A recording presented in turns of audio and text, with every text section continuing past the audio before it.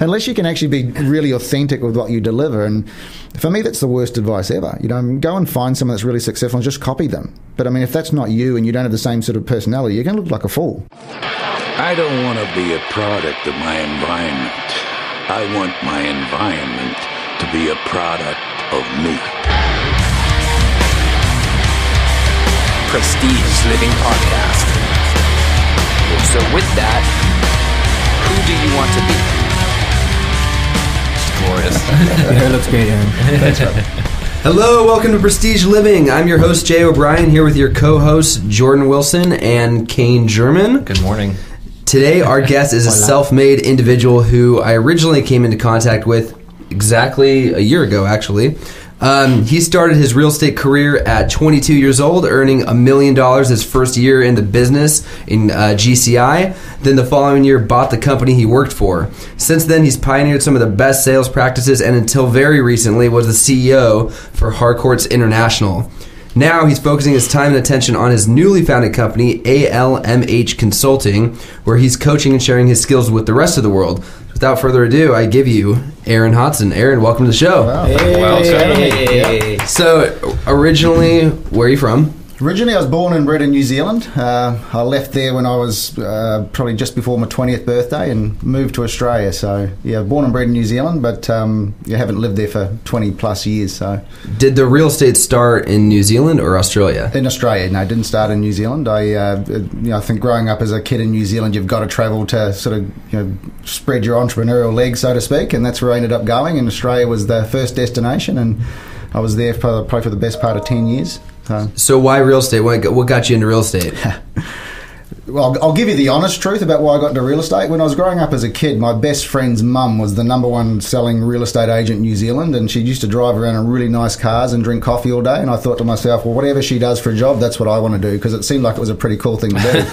so I'm not going to tell you that I always had a love for real estate or anything like that. I mean, hey, I, you know, my love is working with people, and then you know, sort of eh, growing up and sort of being, you know, seeing what she was doing every day. It seemed like a pretty cool job to do, and you know, she still is very, very successful over there. But that was probably my first inspiration. And then, you know, when I was living in Australia, I bought a rental property, you know, um, an investment, and that sort of going through the process sort of encouraged me to go down that line. And yeah, and I just got up one morning, decided, hey, career change, and here we go.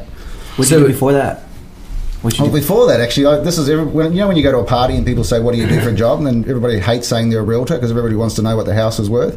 Well, lucky for me, I used to always tell people I was a welder because that's what I did. I was, you know, I used to be a, a certified welder for Caterpillar, and I used to work in the mines, you know, fixing and assembling brand new mining machinery for Caterpillar. So that was, you know, the reason I went to Australia.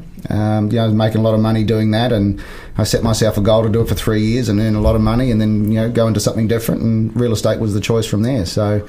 So now when I go to a, party and people ask what I do, I tell them I'm a welder. It ends conversations very quickly because nobody wants to know what a welder does for a job. Oh wow, that sounds exciting. yeah, that's it. Most people go, "What is that?" So, yeah, and I mean that was you know that was what my, my trade, my um, you know what I was doing as a kid when I was going doing my apprenticeships and so forth. But um, you know, I always had a a desire to work with people and do something a bit bigger out there and you know, when I was growing up as a kid, that was what you know the great opportunity was to make a lot of money. So you could get out into the you know the outback of Australia and work in the mines and, and a lot of money. And you know, some made great success stories out of it, and most people just went broke and got stuck in that framework because you know you get, lived that lifestyle. Aaron, when you made the switch from welding to real estate, how old were you? Twenty two. So, did you get any pushback or any resistance from like your support system? Like you're going from a stable job where you're making good money, and then all of a sudden you're going to like, I'm assuming it works the same way. Is is a commission only? Yep. You know, not not secure paycheck. Did you, how was the um, feedback when you made that choice?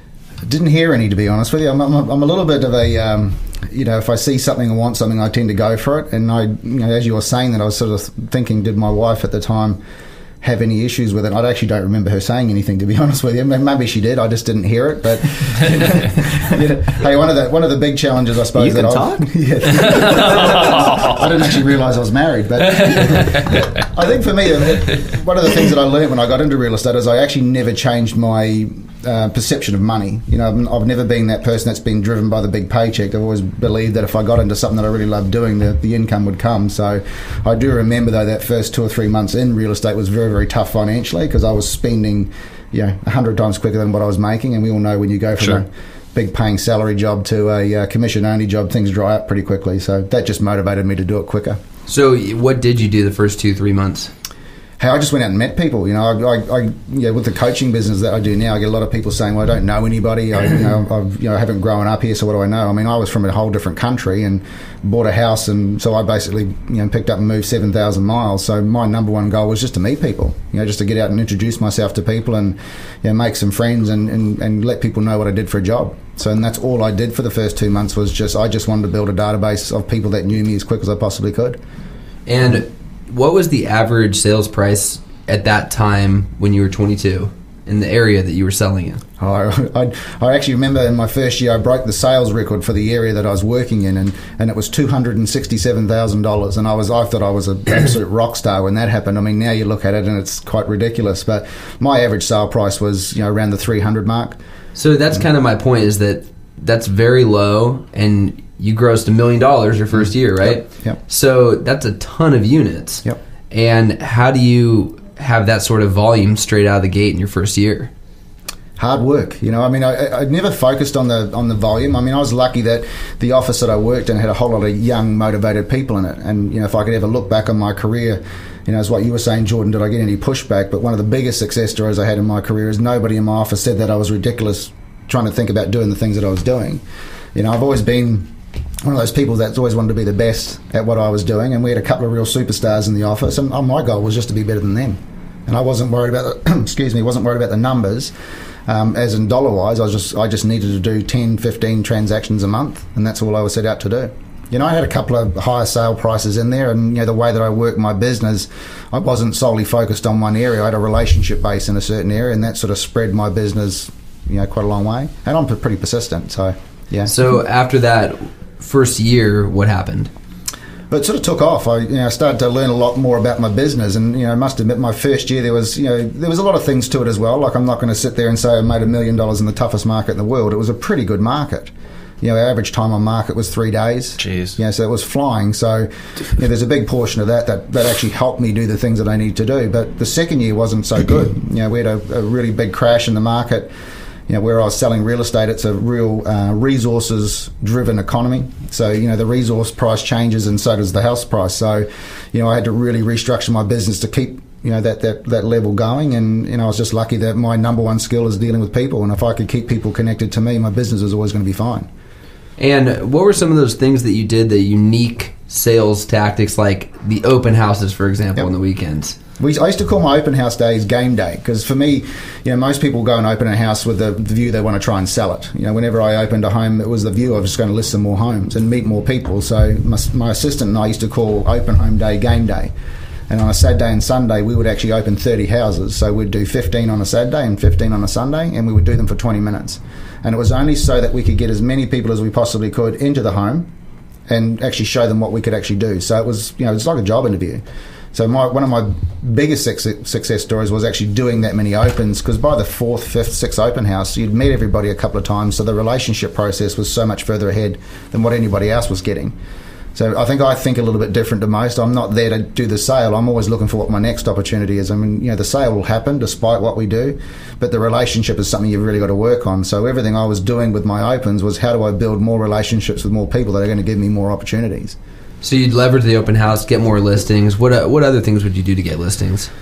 Hey, I have a, a, program that I run called the My Raving Fans, which is a total new look. I mean, the Raving Fans term's been around for years, but just the way that I actually handle it. You know, for me, I sat there and I thought, well, if I have 50 full time prospectors out there looking for business for me, then my business is going to go through the roof. So I focus solely on building relationships with people that would always um, be a raving fan to what I did for a job. So if they ever heard of anybody thinking of selling real estate, I had full time prospectors out there doing it for me. And relationships do that.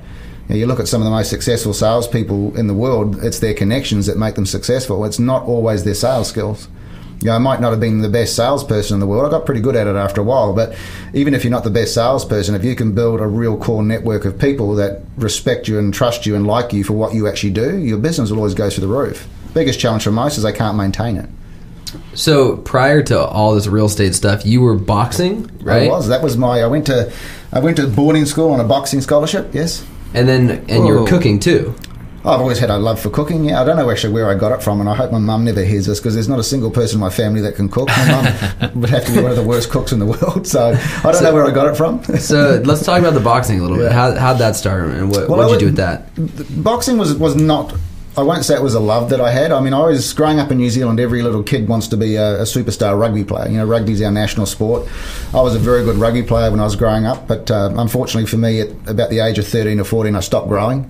You know, so everybody else kept going, and so, you know, I was a big kid at twelve, but wasn't so big at fourteen. And then, you know, I wanted to be a rugby player, and I wanted to go to a, a, a school called St Stephen's on a on a rugby scholarship. Couldn't get it. You know, I was good enough, but just wasn't big enough. Um, I was, you know, I used to do a lot of boxing for uh, training for rugby, and you know, got pretty good at that. So I got a scholarship to go to St Stephen's on a on a boxing scholarship.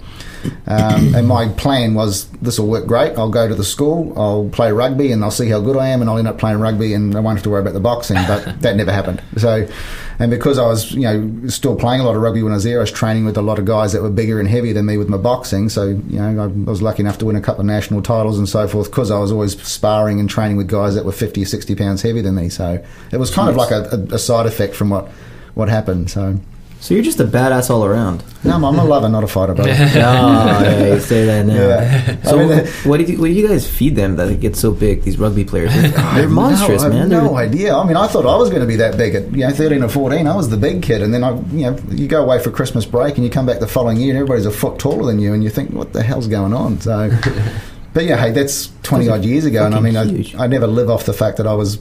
You know, quite good at sports. For me, it was just a, an avenue to get somewhere else. I'd never had any visions of being a professional sportsman or anything like that. It was, I, mean, I must admit, I learned some of my best business and, and relationship building techniques from, from the sports that I that I chose to do. You know, from boxing and the self discipline of what it takes you to get up every day and do it. Because nobody wants to get up and get belted every day, and you've just got to learn to do things better. And that's what I learned from from you know going through those things with boxing. I had a great coach. You know, so that was a really good foundation for my business career. Yeah. So you just mentioned coach. What did you have any like mentors for real estate, or you just went in there guns blazing? And, No, I mean it's interesting. I mean I've got a very different philosophy in the way that I do my coaching and, and training. And I mean I, the- a thing that frustrates me a lot is we get a lot of people that get into real estate and they go and try and model themselves off somebody else. And you know these coaches that are in the industry right now. And I don't want this to be controversial, but there's a lot of majority of the coaches out there have just never done it.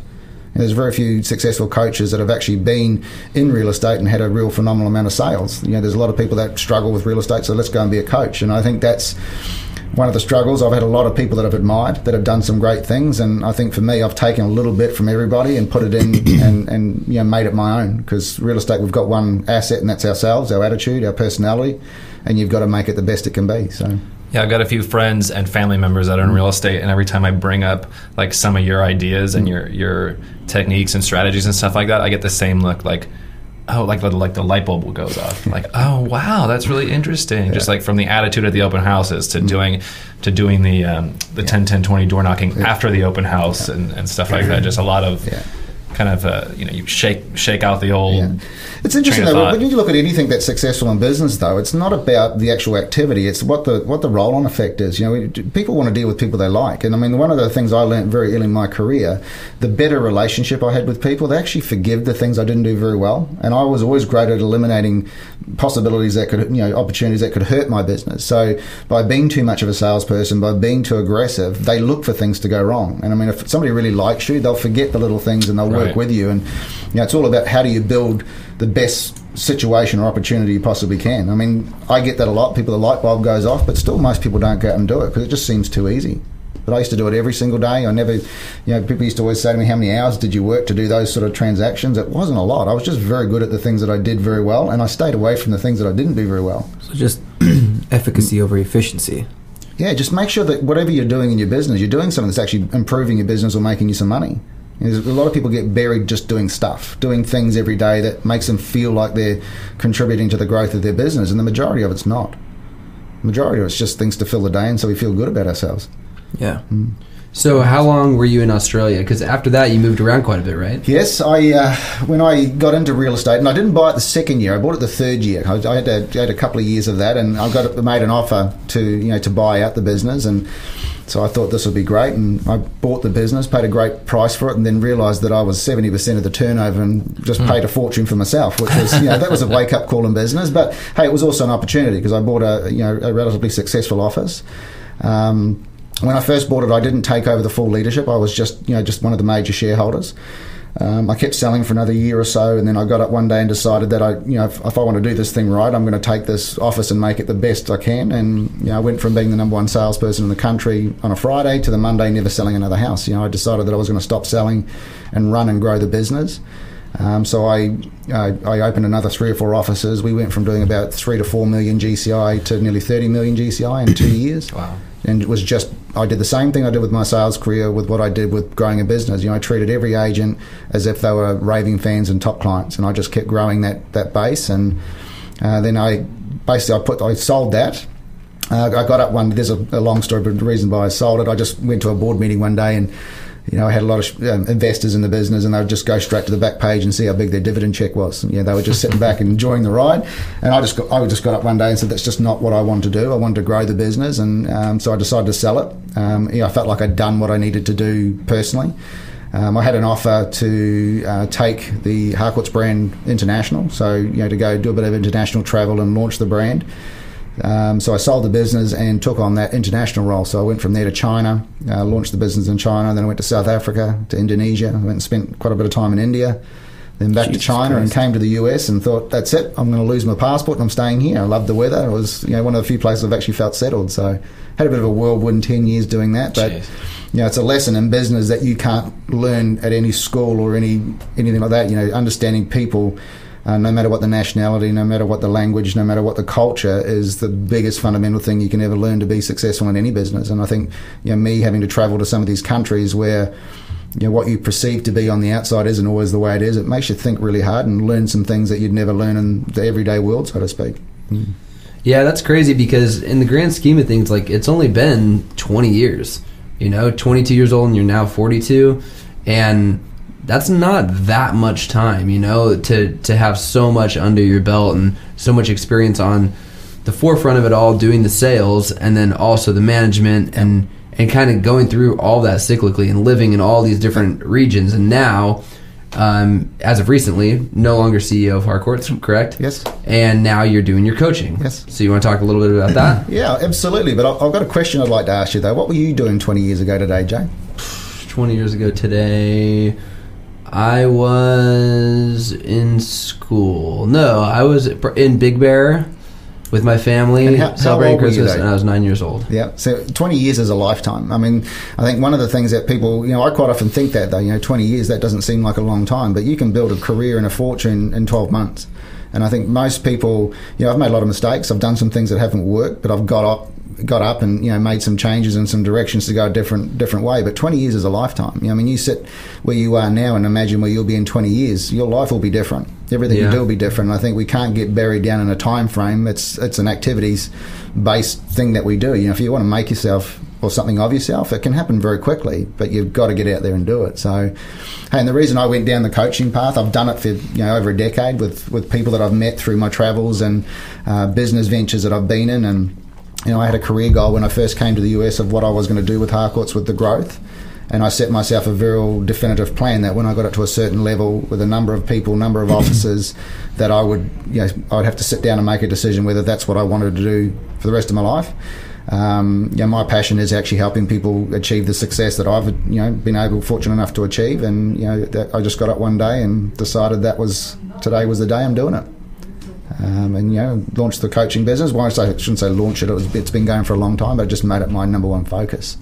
That's right. Okay. Well, I'm gonna go back to the real estate thing. When you decided on Friday, you were like top salesman. Monday, Yep. you said just gonna do the coaching and stuff like that. Mhm. How how and why? I mean, never mind about the why, but Mm. how? How did that feel? Because I, I feel like you're the kind of person who wants to have everything in control, and then to lose all that control to kind of just like coach these other people, and like now it's not in your hands directly. How did that feel? It was the most horrific two days of my life. it, was, it was Just two days, bro. Oh, it was it was it was one of the toughest things I've ever been through because you go through this uh, this emotional roller coaster of like, do I let it go? And you, you asked me about resistance. That's probably one of the biggest times in my life where I've had a lot of resistance from people. You know, people saying you're mad. Why are you doing it? And but I think I could see something that was going to hold me back achieving the things that I wanted to do, and I just didn't want to have the office. I, you know, I was still a young guy. I was 29, nearly 30, and I thought I, I don't want to be that guy that sits in the office and just runs the real estate office. There was bigger and better things for me to do. Um, and I could also see I was making a lot of money for a lot of other people that weren't contributing the same thing. And I wanted to grow more offices and do some things that these people probably wouldn't have been supportive of, which could have ended up damaging relationships. So I thought if there's ever a time to get out of something, you do it when it's at its peak. You know, if you want to get top dollar for something when you sell it. And that's why I made the decision to do it because I was going to get more money for that business then than I ever was going to be. Um, the market was flying, so there wasn't a lot of resistance to doing it. But it was not the easiest decision I've ever made in my life. It was tough. I mean, I had a, I don't think I slept for 48 hours, and I went backwards and forwards a hundred times on whether it was the right thing for me to do.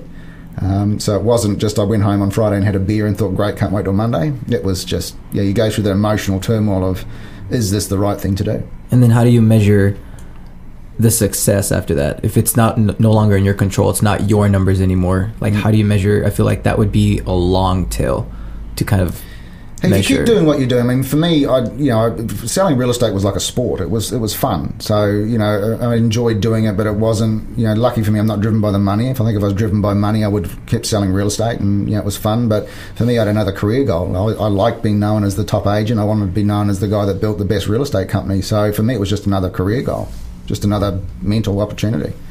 Got it. So sorry, when I was just talking to you before, I was actually talking about the emotion of selling the business. It wasn't going from the agent to the to the to the owner. Um, yeah, when I made that decision to do it, that was actually quite an easy decision because I, I sort of was over it. I'd kind of I was over the selling the houses. It had lost its sort of Charm. the charm of doing it. And for me, I wanted a new challenge, which was to take other brand new agents or other people and actually give them a really great career and just teach them the things that I did. I mean, I've always been you know, uh, you know, somebody that's like to help people, so the teaching aspect of it was a real was a driving force for me. Got Yeah. So what's going on now in the coaching world? Mate, it's, it's it's it's really really great. I mean, there's a lot of things going out there in the market, and, and I think the, for me the coaching world's quite broken. There's a lot of things out there at the moment, which is just a whole lot of people replicating real lowball scripts and dialogues, and just trying to get people to get some sort of business. And I think the the change that needs to happen in the coaching world is some real authentic, you know, teach people how to you know to be the best they can be at what they know how to do, not give them something that everybody else is just out there replicating. Um, so for me, there's a big hole in it, and there's some great stuff out there in the coaching world. But there's a real, what's becoming really apparent is there's a real gap opening up between the really, really good and the average. And the average people are sticking with the low ball stuff because it's it's a comfort zone, and the ones that want to get out of that comfort zone and really test themselves and, and, and try and push themselves to do some things that are a bit different, have the opportunity to earn more money in this industry than they've ever had before because our competition is getting weaker. Um, and there is a real big door opening now for people that really want to take their business to the next level if they want to step outside the comfort zone and do something a bit different. And funny enough, the stuff that's a bit different is the easiest stuff in the world to do. So for 2016, what are the plans around the consulting company? Hey, grow it! I've got a I've got a couple of exciting things happening this year. I've got a, a full online program coming out uh, early in the first quarter. I've got a, a, a book being released um, first quarter of well of 2016. A book's called Who Has Your Title. Um, which is you know just funny enough it's based on the, the boxing mentality but it's just you know showing people how they can actually come out and own what is themselves. Um, you know teaching people not to just go out and replicate what everybody else is doing you know that to be successful you've got to be the best you you can be. So it's um, you know it's been a long process building that um, yeah, a lot more coaching. The online stuff's really good. Um, I've got some huge clients, um, you know, sort of international businesses that I'm doing a lot of leadership coaching with at the moment, which is really cool. So uh, managing, you know, merging of a couple of big leadership teams. Um, but yeah, just you know, breaking some holes and, and putting some new stuff out there, and just maintaining real selectiveness about the people that I actually take on. You know, I'm not going to be one of these body shops that's just going to have you know, multitude of agents. If people want to commit to it, there's a there's a commitment from both sides. You know, you said something about replicating other people. I saw something online. Somebody who I don't take very seriously posted, um, like you need to find someone who's successful and do exactly what they do. Yep. And then that reminds me of something you said maybe a few weeks ago, where it was like you're only going to be the second best version of that person. Well, it's, it's Like- not the second best. You're going to be a very second rate version Yeah, of that second person. rate. I mean, hey, the, anything in, in life is successful. I mean, everybody's met people that are, you know, they might not be the smartest or the most intelligent, but they're, you know, people really like them, and there's a real element of success that comes with that. And I mean, I could give you the best scripts and dialogues in the world, and you can go out and replicate them, and, and you'll only ever do what you can do. And you know, besides the fact you don't have the cool accent, you're not going to do a very good job of it. So, Can, I trans- can we get a translator here? yeah, that's it. Unless you can actually be really authentic with what you deliver, and for me, that's the worst advice ever. You know, go and find someone that's really successful and just copy them. But I mean, if that's not you and you don't have the same sort of personality, you're going to look like a fool. I feel like maybe not not exactly copy them, but follow their habits and stuff like that. I think those are that should be the real takeaway. I mean, like That is a exactly person, right. a person's persistence and stuff like that, their attitude and the way they go around, like just like what you said about people earlier You're, you're 100% right, mate, but most people just go and copy the actions. They, they don't, very few people actually look at someone that's really successful and, and see what they do on a day to day basis. They try and copy what they do. So he goes and says this, I'll go and copy that. But they don't copy the fact that the person takes the time to understand the person they're talking to or the personality traits. Nobody ever sees that. Nobody ever Yeah. wants to see that part of it. They want to copy the action, which is what do you do every day? But it's what's behind that person that makes them do it every day that makes it successful. Nobody ever sees that. Correct. And that's the that's the challenge. What you said is exactly right, but nobody can see that. Big part of what I do is teach people how to see that what actually makes you know what drives the engine, what gets people to do what they do every day. Yeah. You know, getting out there and doing something that works, but doing it with the right attitude is going to make all the difference. Exactly. So, would you prefer to work with um, larger audiences, or you want to stay with like smaller audiences That was my in terms of, question, of the dude. coaching, like more boutique style, or more like um, Big public speaking. Tony Robbins, Tim Ferriss, Tim Ferry, Um, Tom I do a lot of public fuck. speaking, and I enjoy that. Yeah, I mean, I, I love the public speaking because, and it's because you can really have a big impact on people. I love the one-on-one stuff as well, though, because there's nothing more powerful to me than sitting down with somebody and actually seeing their business grow. You know, I've been working with Jay um, for over a year now with your, with the office and that, and actually seeing people succeed is the best uh, motivation you'll ever get. And I know Jay feels it every day when you. There's nothing more powerful than an agent coming in and their life's changed because of the things that they've started to put in place. So I love the one-on-one stuff. I do a lot of speaking, and I'll always do that. You know, I love the keynote speaking. I love sharing the story, um, mainly because my story is very real. I tell you all the things I didn't do very well. As well, so I'm not one that sits up there and puts glitter on everything and makes it sound like it's an easy Oh, road. back Like on Jizz that does. subject, God damn it. yeah, you know, I, I just sharing the hardships, I suppose, sharing the you know the, the journey that you've actually got to go through to be successful. It's not easy. I mean, I've had a lot of things in my life that haven't gone well. I feel like the hardships is what makes you more relatable. You mean like if you just like, I went from zero to 100 with zero hiccups, and mm. people are like, oh, fuck this guy. You know what I mean?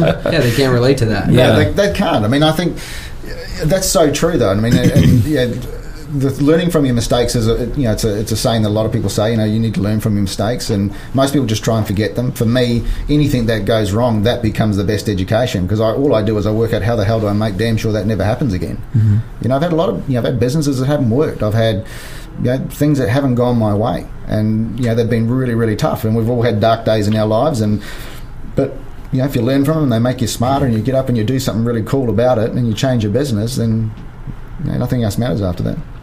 Yeah. Go ahead. You know, Jordan. I had something, but I, but I just lost it. I was just, you know, transfixed by the accent. I think. You can take your hand off my Yeah, thigh. Well, um, if you don't have anything else, then Yeah. let's let's give the uh, consulting company a little plug. Where can people find you, and how are you, are you taking people on right now? Yes, um, I'm booking and doing some really big bookings for uh, 2016, so people can find me. I've got a brand new website uh, which will go live next week, uh, ready for 2016. That'll just be at aaronhodson.com. Um, and my email is just aaron at almhconsulting.com if anybody wanted to contact me that way. So, uh, but some some big things, and uh, really looking forward to the book coming out too, because that'll that'll really show people the, the real colours of what it takes to get to where it needs to be. But we have your cell phone number. That's what I was gonna say. Is like, or you, you can I'm email me and I'll give give you you a cell cell phone phone. number. That's it, I text them about like four times a week. That's And it. and when is the book coming out? Uh, it should be due out in June, possibly a bit earlier. So it's it's progressed really really well.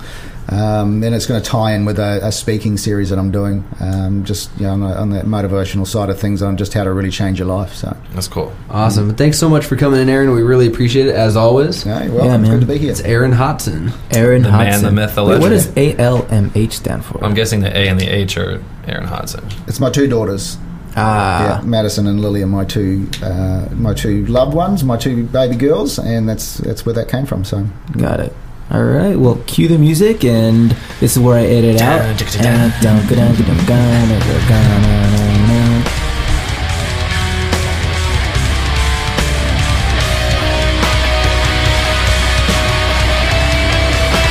If you would like to be on the Prestige Living podcast or know someone that would be a great guest, go to www.prestigelivingpodcast.com. We'd love to hear your story.